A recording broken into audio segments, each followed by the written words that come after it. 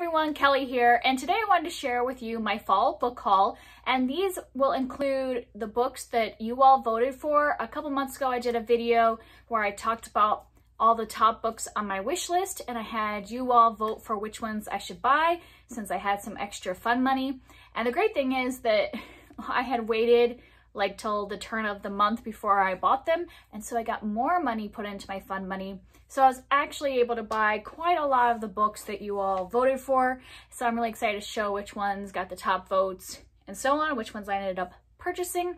But first of all, before I show you the books, if you have been here with me for a while, you know that anytime I haul any books, I always donate a dollar per book towards a charity, and I usually try to pick one involving literacy. literacy. The past few I have done like COVID related charities, but this time I wanted to get back to doing literacy based charities. So I picked a, a, charity called ProLiteracy. I have donated to them in the past. They are a organization that provides resources for adults to learn how to read and to promote adult literacy.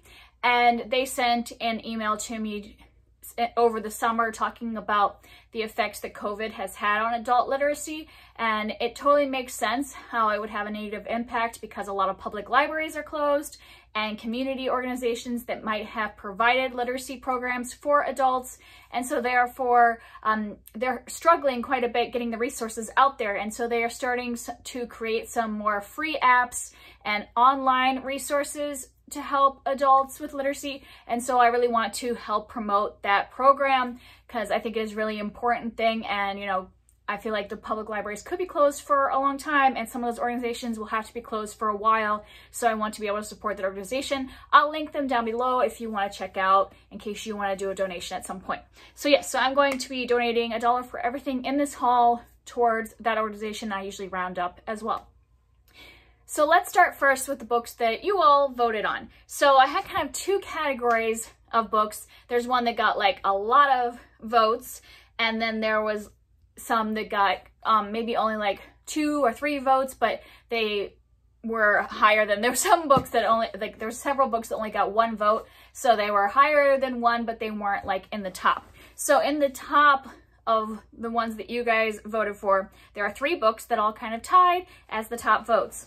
And some of these are not surprising. Like the first one was Nevermoor, The Trials of Morrigan Crow um, by Jessica Townsend. And so many people in the comments said how much they loved this book. It's a middle grade fantasy and I'm really excited to have gotten this now. I was waiting to start this series because I usually don't like to read a series that only has one book out. So now we're at the point where I believe three books are out in the series. So I think that's a perfect time to start it so I won't be like waiting as long for the series to go on and I'll be able to like binge read those three books if I really wanted to. So I'm really excited that you guys voted for that one.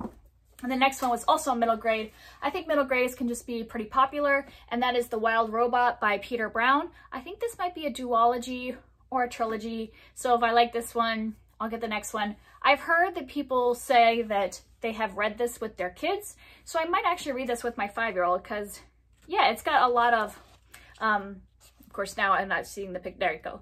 So there was a lot of like big pictures in there. So I think this will be a great one to read with my five-year-old. This is a middle grade fantasy again about a robot that is stranded on a deserted island. And I've heard it's really cute. And a lot of you said in the comments that you love that one, especially to read with your kids. And the third one is an adult book and it was the adult book with the most votes. And I was kind of surprised about this one. This is Things You Save in a Fire by Katherine Center. I don't know why I was surprised this one got the most of votes of the adult books, but I was. This is a contemporary, I think it's kind of more like women's fiction or focused on a um, romance in some parts of it, but um, it is about a woman firefighter who moves to a new town and I think her new fire station is all men and kind of has that like old boys club kind of feel. And so it's her trying to get into the group at the fire station, but then I also think she has a romance as well. So those three were kind of in the top tier of votes. And the next section, all these other ones were ones that maybe only got a few votes, but they got more than one, so I went ahead and got them because I had that extra fun money. So I just thought I'll just buy some more that you guys voted for. And almost all of these um, people made specific comments of how interesting they sounded or that they enjoyed reading them. So I'm really excited about every single one of these. And that's the great thing about having you guys vote is that it got me more excited to read these books because sometimes I buy a book and it sits on my shelf for a while. So these are all ones that I'm like really interested in reading sooner because you guys got me excited about them. So the first one in this group was Soulless by Gail Carriger, and a lot of people said they just thought this was a really fun series. And this is, I believe, like a historical, supernatural, paranormal kind of story, a series. Um, I So I think there's like, you know, vampires and werewolves and stuff, but it takes place in Victorian times. And so I think this will just be like a fun read. And then next I have a couple nonfiction that you all were interested in. This one is Mighty Be Our Powers, How Sisterhood, Prayer, and Sex Changed a Nation at War by Leymah Gbowee. So this is about a group of women during the Liberian Civil War and they banded together and I believe they held protests and things like that. So it was in 2003 and they formed the Liberian Mass Action for Peace, which is a coalition of both Christian and Muslim women that did public protest um, and even held a sex strike. So I just think this will be a very interesting book to read. I'm kind of hoping to read this for nonfiction November because it just sounds so interesting. And then this next nonfiction, I've heard several people lately on BookTube actually reviewing this, so I'm really interested in reading it. And this is The Girl with Seven Names, Escape from North Korea by Hyeonseo Lee. And this is just her memoir about how she escaped from North Korea. I believe she was younger yeah, she was a child. Um, and at 17 she escaped. And so just her experiences in North Korea and then how she ended up leaving and her life after, I believe. And I've just heard really great things about this memoir, so I'm excited to read that one. And then I have a couple kind of more um, dystopian or fantasy kind of things. This first one is called Moon of the Crusted Snow by Waubgeshig Rice. And I think this is a apocalyptic book. Like I think it's actually taking place during like the apocalypse, like something has happened to destroy modern civilization and this small community is doing okay for themselves, like getting by and then people outside the community see that they're doing well and I think are trying to get into the community to survive. Um, and so this is a pretty short book, but I've heard really good things about it. So I'm excited to read that one. And the other one is one that is I'm super excited about, especially lately because I've read one of her books, and that is The Fifth Season by N.K. Jemisin. This is the first book in the Broken Earth trilogy. I've heard so many people talk about this. This is kind of like sci-fi fantasy, post-apocalyptic all in one. And I think it's like taking place after the earth has been destroyed. Um, and, or I don't even know it's actually like our earth, but like whatever earth this is. And the reason I'm so excited about this is that I've been reading a short story collection from N.K. Jemisin, and I just think she's a phenomenal writer. I hadn't read any of her books before. I started that short fiction um, collection, and I'm just like blown away, and I'm not even a short story person. So if she can blow me away with these short stories, I'm like super excited to start the series, and I've just heard so many good things about this one, so I'm glad you all voted for it. And then I have a contemporary, and that is Americanah by Chimamanda Ngozi Adichie. And I'm really excited about this one, one because I have enjoyed the nonfiction I have read from her, um, and I've wanted to read one of her novels. So I put this one on there because I think out of all of her novels, this is the one I'm most interested in. And I think this um, takes place pretty soon after 9-11, and there is a couple who are leaving Nigeria and one moves to America, but then another one, um, the man ends up having to go to Europe instead and th their time apart and then I think they reunite maybe.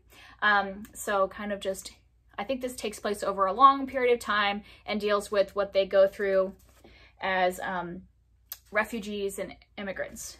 And then the last one that you all voted for was The Humans by Matt Haig. And this is a adult sci-fi about an alien who ends up in planet Earth trying to um, stop a discovery from happening and becomes a human and just kind of like, I guess, experiencing what it is like to be human. And this actually moves me into the books I bought that weren't part of your votes because I really wanted a better cover for this than the cover that kind of is easy to get a hold of. I'll show you a picture of what that cover looks like. It's a nose and I just, this is why I haven't bought this book yet because I just don't like this cover and this is the one that's most widely available. And there were covers like this that have this dog on it, but it was hard to get it. And I found that I could have bought the cover with the nose on it for like $13 or something like that.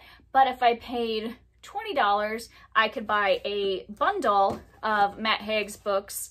And so that's what I did. and then I got this cover. So in that bundle, I got two more of his books. And even though I wasn't necessarily planning on buying these, I spent a little more money, got three books instead of one, and I got the cover I wanted. And I'm interested in trying these out. This is The Radleys by him, and this is another fiction book. And I think it's about vampires, like a family living in a suburban area, and they're a little bit different. And I I kind of think they might be vampires is what I've heard. I don't know. Hopefully that's not a spoiler because it doesn't really say that on the back, but like, I don't think I would know that if it was a spoiler. I don't know. Maybe it says it on the Goodreads or something like that. And then I got one of his nonfictions in that bundle. This is Reasons to Stay Alive. And I believe this is about his um, kind of journey with mental illness. And so I think that would be an interesting one to read. And I think my husband might want to read this as well. So it says back here, it's warm and engaging and shot through with humor. But I've also heard there's some pretty um, hard things as well in this memoir. So like I said, that's transitioning into books that I had bought as not part of this vote. Um, most of these I bought before, like earlier and probably more in the summer. I'm just calling this my fall book haul because I'm doing it in the fall but and telling you about it in the fall. But I probably bought the rest of these or was given these towards the end of summer. So the first one is The Children of Noisy Village by Astrid Lindgren. This is the author that did Pippi Longstocking and this I just bought because my daughter and I are reading this as part of school and, and when we study Europe we're going to be starting this this week and it's just a short like kind of children's um, chapter book. So, you know, very quick. We're just going to be reading it for a couple weeks when we study Europe because this takes place in Sweden, I believe. So um, I got this at Thrift Books for like a dollar. So it was worth it since the library didn't have it. And then the other one I bought for myself, I'd already reviewed on here, and this is A Literary Education, Adapting Charlotte Mason for Modern Secular Homeschooling by Emily Cook. And this was just a book that I read to help me start homeschooling. And I really enjoy this book. I ended up giving it five stars. It was very helpful for me as a beginning homeschool parent. Um, yeah, so I would highly recommend this one if anybody is also starting in on their homeschool journey. I think you can get a lot out, out of it even if you've already started homeschooling this year. Um, eh, but if you're new to it and just wanted to learn some other ways of like using literature in your homeschool, I think this one is great. And then the rest of these books actually were given to me by my sister-in-law. She was moving over the summer and wanted to, you know, purge some of her books out of her life. And these are ones she thought I would like. I think all of these are kind of like women's fiction is what I would call them. So they might have a little romance, but then also might just be like slice of life type books. I had never heard of any of these books or their authors. So if you have heard of any of these um, let me know, or, or if authors or anything. I probably will take some of these and do them in my try a chapter series I'm, I've been doing over the last couple months because I just don't even know if I'm going to like these or not. I think some of these have a little bit of magical type things too, so that'll be fun. This first one is called The Book Charmer by Karen Hawkins, and obviously this one involves books in some form. So I don't know, this one says the main character Sarah has grown up to be a librarian in her quaint southern town and her gift is to place every book in the hands of the perfect reader. So maybe there'll be some kind of like she has some talent of connecting books with people. So that one could be a cute read. The next one is Midnight at the Blackbird Cafe by Heather Weber.